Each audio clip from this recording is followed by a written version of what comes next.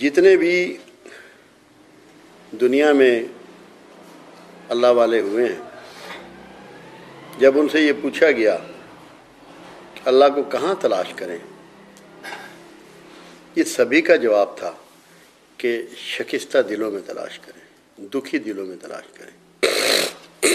اب کیا آپ کو نہیں معلوم کہ دکھی دل کون سے ہوتے ہیں؟ ہر انسان آدم علیہ السلام کی اولاد ہے اور اس رشتے سے سب بھائی ہیں۔ جب آپ انسانوں میں تفریق کرتے ہیں، کچھ برتر ہوتے ہیں اور کچھ کو کمتر کہتے ہیں۔ جن کو آپ کمتر کہتے ہیں، وہی شکستہ دل ہوتے ہیں۔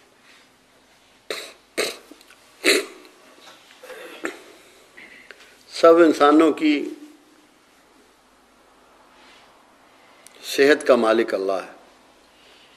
جسے چاہے شفا عطا فرمائے اور جسے چاہے بیمار ہی رہنے دے۔ جن کے پاس صحت نہیں ہوتی، وہی شکستہ دل ہوتے ہیں۔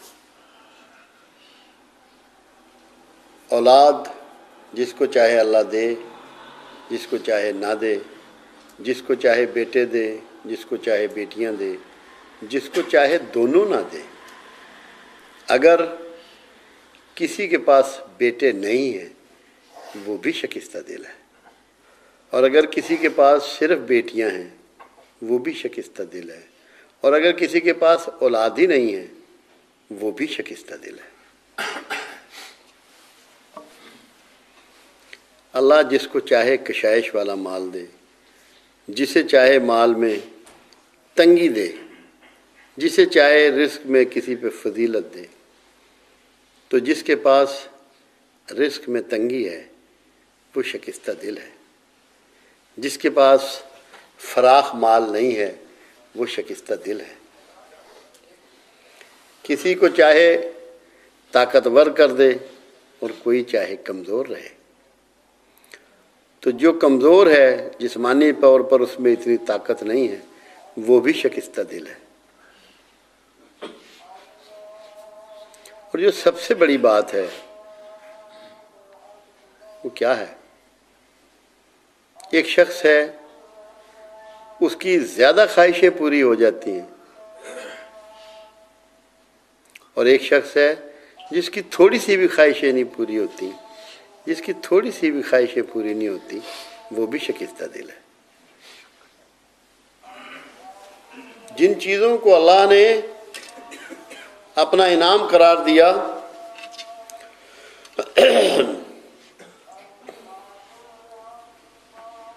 اور وہ تمام چیزیں، وہ مادی ہوں، معاشرے میں عزت ہو،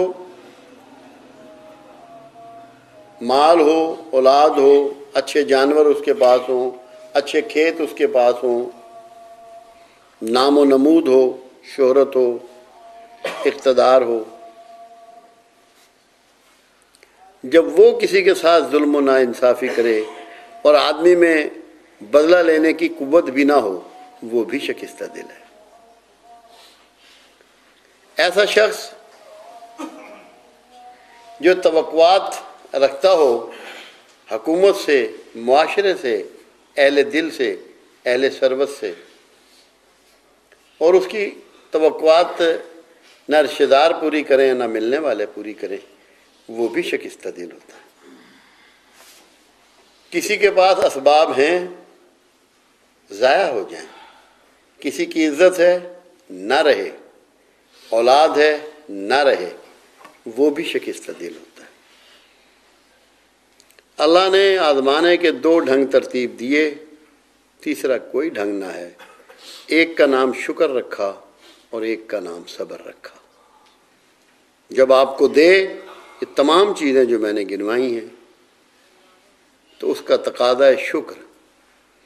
مگر یا سرے سے نہ دے، یا دین دے کر چھین لے، وہ صبر کے زمرے میں آتا ہے۔ تو جب کسی کی پوزیشن صبر کے زمرے میں آ جائے کہ اس کو صبر اختیار کرنا چاہیے، تو وہی شکستہ دل ہوتا ہے۔ اور اللہ تو اس میں ایسا کہتا ہے، اللہ نے کہیں نہیں کہا۔ اللہ کہتا ہے، شکر گزاروں کو میں جنت میں داخل کروں گا۔ اور صبر کرنے والوں کے ساتھ میں خود ہوں۔ تو شکستہ دلوں کا ساتھی اللہ۔ اسی لیے تمام درویشوں نے یہ بات کہی کہ اللہ کو شکستہ دلوں میں تلاش کرو، کیونکہ جب اللہ ان کے ساتھ ہوتا ہے تو ملے گا بھی وہیں۔ یہ اگر سمجھ میں آ جائے بات ہمارے، جب موسیٰ علیہ السلام نے شعیب علیہ السلام کی بیٹیوں کے جانوروں کو پانی پلایا تھا نا، تو اس وقت وہ سب سے زیادہ شکستہ دل تھی۔ کیوں کہ جو مرد تھے اور طاقتور لوگ تھے وہ اپنے جانوروں کو بغیر باری کے پانی پلا رہے تھے اور ان کی باری نہیں آنے دیتے تھے۔ اس ظلم کے حالات میں جب انہوں نے پانی پلایا تو اسی وقت اللہ ان کو مل گیا تھا۔ کیونکہ وہ انتہائی شکستہ دل تھی اس وقت۔ جنید بغداد جب ولی اللہ بنے ہیں نا تو ایک چھوٹے سے واقعے سے بنے۔ جنید بغداد حکومت کے پہلوان تھے، نامزد پہلوان، نامی گرامی، اینول مقابلہ ہوا کرتا تھا۔ تو ایک بالکل کمزور اور نہیں آدمی نے انہیں چیلنج کر دیا کہ میں مقابلہ کروں گا جنید سے۔ جب وہ اکھاڑے میں اترے اور قریب ہوئے جیسے وہ پنجہ لڑاتے ہیں تو اس نحیف شخص نے جنید کے کان میں ایک بات کہی کہ جنید میں سید زادہ ہوں، اولاد رسول ہوں صلی اللہ علیہ وسلم، اور میں نے بیٹیاں بھی آنی ہیں۔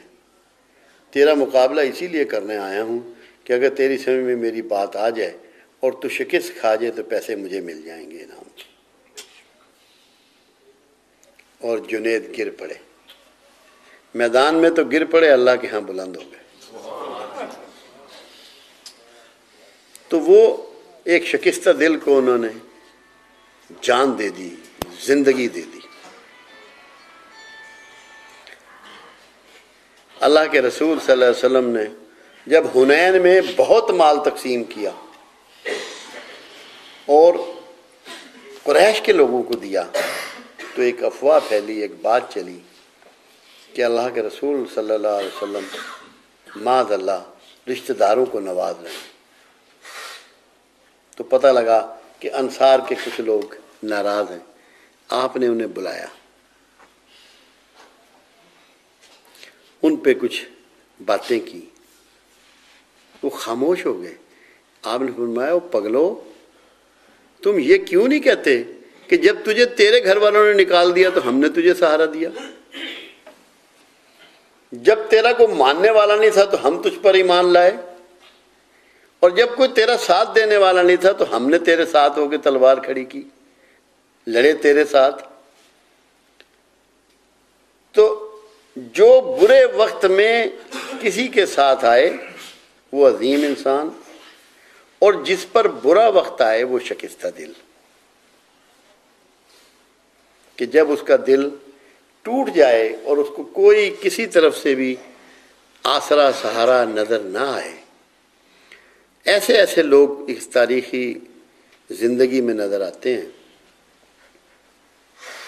کہ کسی نے بھوکے پیاسے کتے کو کھانا کھلا دیا، پانی پلا دیا، وہ شکستہ دل تھا اس وقت۔ اللہ نے اسی کو اس کی سب سے عظیم عبادت سمجھا اور اپنے قرب سے نواز دیا۔ بھوک، پیاس نیند، عزت نفس، مال، اولاد، کوئی چیز بھی جس سے کوئی شخص وقتی طور پہ یا کلی طور پر محروم ہو، وہی شکستہ دل ہوتا ہے۔ اس کی آبرو رکھنا، اس کے ساتھ کندھا جوڑنا، اس کے ساتھ تعاون کرنا نیکیوں میں سب سے افضل ہے۔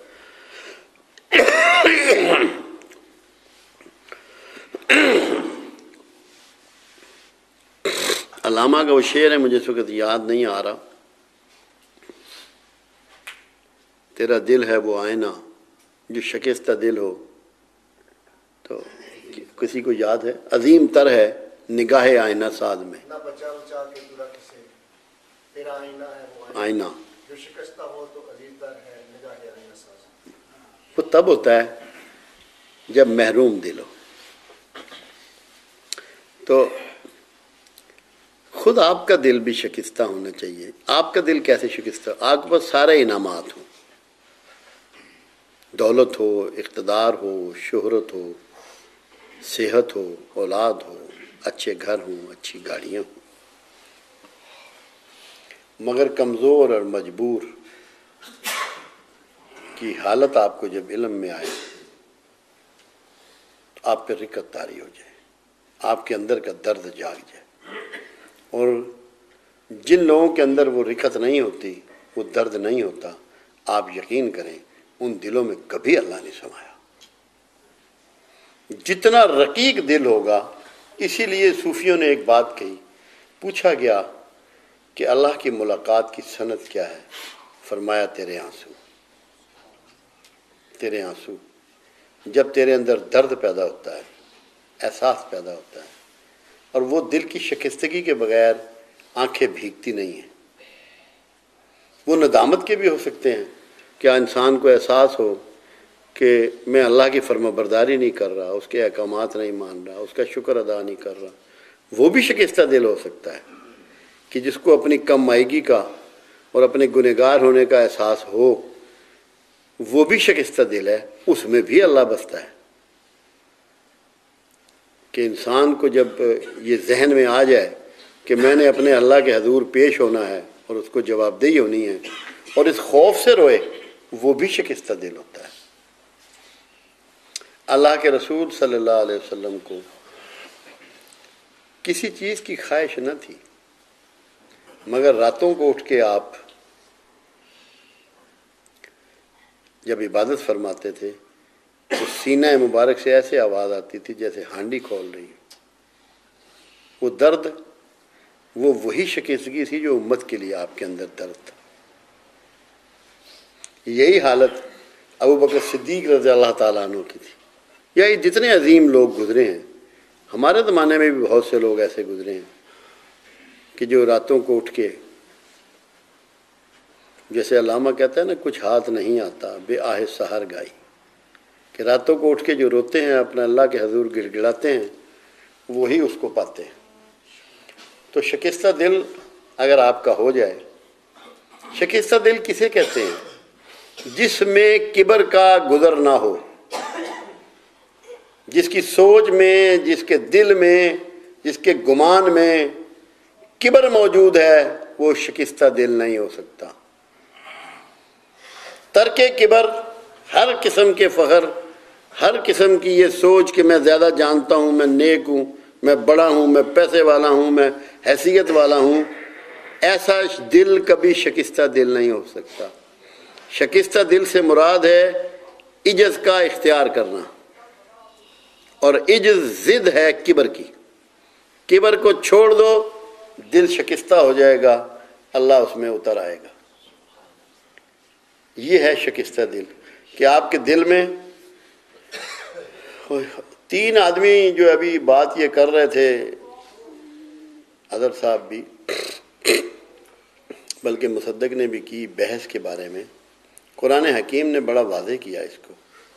جنتی جنت میں داخل کیے جا رہے تھے تو وہ دوستیوں کے پاس سے گزرے۔ اب مجھے سورہ اس وقت نہیں یاد۔ انہوں نے کہا، بھائی تم دوزک میں کیسے آئے؟ نے کہا ہم نماز نہیں پڑھتے تھے۔ دوسرے نے کہا ہم بھوکوں کو کھانا نہیں کھلاتے تھے۔ اور تیسرے نے کہا کہ ہم بحث کرتے تھے۔ بحث کا مطلب کیا ہوتا ہے؟ بحث اگر آپ کے اندر کبر نہ ہو، پیدا ہی نہیں ہوتی۔ جب آپ کو یہ گمان ہوتا ہے نا، اور آپ یہ سمجھتے ہیں کہ میں درست کہہ رہا ہوں، میں ٹھیک جانتا ہوں، میں زیادہ جانتا ہوں، میں بہتر جانتا ہوں، تب بحث پیدا ہوتی ہے۔ اور اگر آپ یہ سمجھ لیں کہ یار چلو، یہی بڑے باپ کا بیٹا بن جائے اور میں چھوٹے باپ کا بیٹا بن جاؤں، آپ یقین کریں بحث ہو ہی نہیں سکتی۔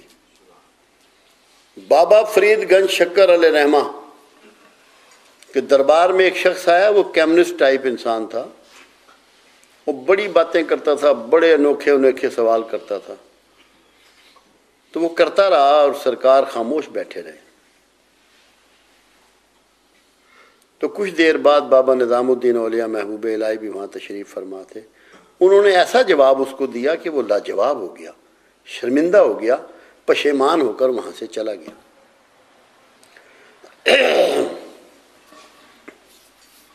چھ مہینے تک مرشد نے مرید سے بات نہیں کی۔ بابا فرید گنج شکر علیہ رحمٰ نے نظام الدین اولیاء محبوب الہی سے چھ مہینے گفتگو نہیں فرمائی۔ جب احساس ہوا ان کو بہت شدت سے، وہ اس شخص کے گھر گئے نظام الدین اولیاء محبوب الہی۔ اس سے معافی چاہی۔ اس سے معافی چاہی۔ اور اس کو لے کے آئے بابا جی کے پاس۔ اور وہ شخص طائب ہوا۔ اور آپ کا مرید بھی ہوا اور آپ کا خلیفہ بھی بنا۔ تب آپ نے معاف کیا نظام الدین اولیاء محبوب الہی کو اور ان سے گفتگو کی۔ وجہ کیا تھی؟ وجہ صرف یہ تھی کہ مجھے بھی اس کا جواب آتا تھا، مگر محفل میں میں نے اس کے دل کو توڑنا جائز نہ سمجھا۔ اس کی آبرو رکھ لی، اس کو بے آبرو نہیں کیا۔ خدا کی قسم آپ کو کتنا ہی جواب آتا ہو اور آپ کے دماغ میں اگر یہ بات سما جائے کہ میں نے مد مقابل کو فتح نہیں کرنا۔ اس کا دل پھر آپ فتح کر لیں گے اور وہ آپ کی عزت رکھے گا۔ تو یہ دل کا معاملہ اتنا نازک ہے۔ اس چیز کو ہمیشہ پیش نظر رکھیں کہ لوگوں کو قائل کرنے کے چکر میں ان کا دل مت توڑ دیں۔ اگر کوئی سمجھ رہا نا کہ میں پاٹے خان ہوں، آپ اس کو اور پاٹے خان بنا دیں، اس کو ڈھائیں مت۔ بندوں کو نہیں فتح کرنا، ان کے دلوں کو مغلوب کرنا ہے۔ جیسے ہے کہ آخر زمانے میں غلبہ اسلام ہی ہوگا۔ ہم نے اس کا مطلب پتہ کیا سمجھ لیا؟ کہ ہماری فوجیں سارے غیر مسلموں کو ختم کر دیں گی۔ اوے خدا کے بندو، بالکل غلط سمجھ رہے ہو۔ اسلام دل و دماغ پہ غلبے کا نام ہے، جسم پر نہیں۔ لوگوں کے دل و دماغ قبول کریں گے اسلام کو اور مغلوب ہوں گے اسلام کی تعلیمات سے۔ یہ تھوڑی ہے کہ ان کو مطلب فوجیں ہماری دنیا میں اتنی طاقتور ہو جائیں گی۔ اگر فوجوں سے فتح ہونا ہوتا نا انسان نے، تو فتح مکہ فوجوں سے فتح ہوتا۔ فتح مکہ پہ تلوار نہیں اٹھائی گئی۔ یہ اسی لیے بتایا گیا کہ دنیا کا مرکز علم و حکمت دانائی اور فہم اور دعاؤں اور اللہ کے حضور گڑ گڑا کر اور جھک کر فتح کیا گیا۔ یہ اس لیے بتایا گیا کہ یہ ایک عارضی آپ کو نقشہ دے دیا گیا ہے۔ آخر زمانے میں بھی ایسا ہی ہوگا۔ پوری کائنات کے لوگ اسی طرح مغلوب ہوں گے، بغیر لڑے۔ تو لوگوں کو فتح نہیں کرنا، ان کے دل و دماغ کو مغلوب کرنا ہے اور وہ بغیر قربانی کے، بغیر احسان کے بغیر عدل کے ہو نہیں سکتی۔ اسلام نے اسی لیے تین شعبے بنائے ہیں معاشرے کے لیے۔ پہلا عدل، دوسرا احسان اور تیسرا ایثار۔ ایثار وہ چیز ہے جو کسی کا دل ٹوٹنے نہیں دیتا۔ تو انشاءاللہ اس پہ آئندہ بات کریں گے تاکہ یہ بات آپ سمجھ لیں کہ شکستہ دل کون سے ہوتے ہیں۔ میں نے بڑے آسان الفاظ میں آپ کو سمجھا دی ہے یہاں ایک دوست بیٹھے ہیں۔ انہوں نے ابھی ایک پرچی مجھے دی تھی کہ فجر کی نماز میں امام صاحب جو ہیں وہ نماز پڑھا رہے ہوتے ہیں اور لوگ سنتیں ادا کر رہے ہوتے ہیں۔ یہ خالصاً فقی مسئلہ ہے اور مختلف فقہ میں اس کے مختلف طریقے لوگوں نے اپنائے ہوئے ہیں۔ فقہ حنفی والے جو ہیں وہ یہ سمجھتے ہیں کہ فرض ہو رہے ہیں اور اس کے بعد بھی وہ سنتیں ادا کر رہے ہیں۔ حالانکہ اس کا اسلوب تو یہ ہے کہ جہاں تک کرت جہر کی آواز آ رہی ہے، وہاں آپ نہیں کر سکتے سنت ادا۔ کیوں؟ جب قرآن پڑھا جا رہا ہو، اس کا مطلب ہے کہ اللہ گفتگو کر رہا ہے۔ اللہ کی گفتگو کرتے ہوئے آپ کوئی اور ایکٹ نہیں کر سکتے۔ یہ نماز جہر ہے۔ جب قرآن پڑھا جا رہا ہے، قرآن کا سننا آپ پر فرض ہے، آپ پہ لاگو ہو گیا۔ اگر آپ کو یہ احتمال ہے کہ آپ کی سنتیں ضائع ہو جائیں گی، آپ اتنا دور ہو اس جگہ سے جہاں پہ یہ تلاوت ہو رہی ہے کہ آپ کے کانوں تک وہ آواز نہ آئے۔ یہ ہے فقہ حنفی کا مسئلہ۔ جو باقی دیگر فقے ہیں شافی ہے، مالکی ہے عملی ہے، ان کے ہاں ایسا نہیں ہے۔ اس میں بھی دو باتیں ہیں۔ کچھ لوگ اس میں فجر کی سنتیں جیسے ہی فرض ختم ہوئے پڑھ لیتے ہیں۔ اور کچھ کے ہاں یہ طریقہ ہے کہ جیسے ہی سورج طلوع ہوتا ہے، اشراق کا جو وقت شروع ہوتا ہے، اس وقت سنتیں پڑھ لیتے ہیں۔ کوشش یہ کرنی چاہیے ہمیشہ کہ قرآن کی تلاوت اگر ہو رہی ہے تو پھر آپ نے کوئی ایکٹ نہیں کرنا۔ تاکہ وہ اللہ کی گفتگو میں آپ کوئی اور ایکٹ کریں تو بہت بڑی گستاخی میں آتا ہے۔ اللہ آپ کا اور میرا حامی